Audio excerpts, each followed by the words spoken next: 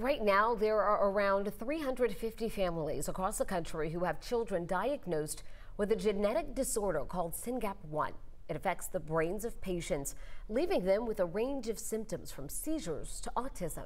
Tracey Amick Peer tells us why researchers say it's a hugely underdiagnosed. Today is SYNGAP1 Awareness Day. It's a rare genetic disorder you may have never heard of, but some parents in Atlanta are working to change that.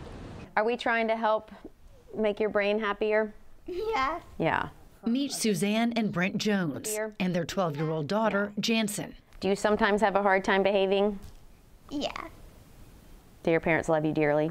Mm-hmm. Yes. When Jansen was just four months old, the Jones noticed she wasn't using her arms and legs and started Um, asking questions. We were told lots of kids are delayed, this happens, you know, just get her some therapy and everything will be fine. So the Jones started therapy for Jansen and a journey to diagnose her that would last a decade.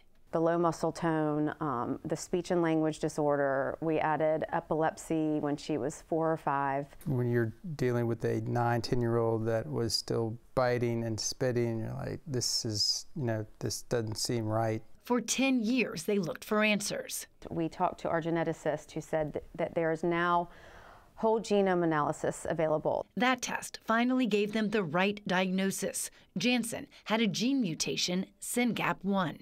And I Googled it and I was like, oh my gosh, this is it. It literally listed out everything, all of, all of the issues that we've been dealing with.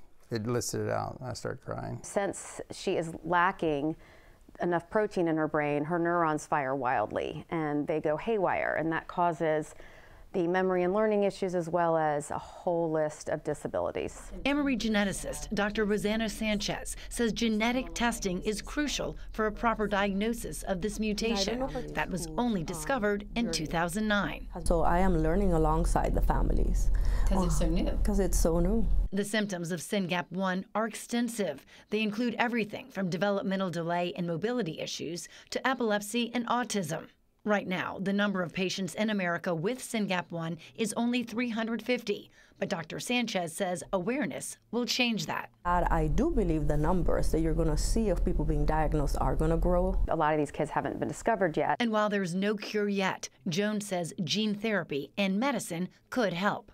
Improve their brain function and do something about the fact that they're missing the SYNGAP protein. Today, Jansen swims, plays buddy baseball, and rides horses as part of her therapy, while Suzanne chairs the board of the SYNGAP Research Fund to raise awareness and find a cure to help Jansen and all the other children living with SYNGAP1. As it's a time for us to celebrate, it's a time for us to realize that there is hope and that, and that we do have a community and to sort of like dig in and keep working. To learn more about the symptoms and treatments for SYNGAP1 and to find out how you can be part of a cure, just go to our website, 11alive.com. Indicator, Tracey Amick Peer, 11 Alive News.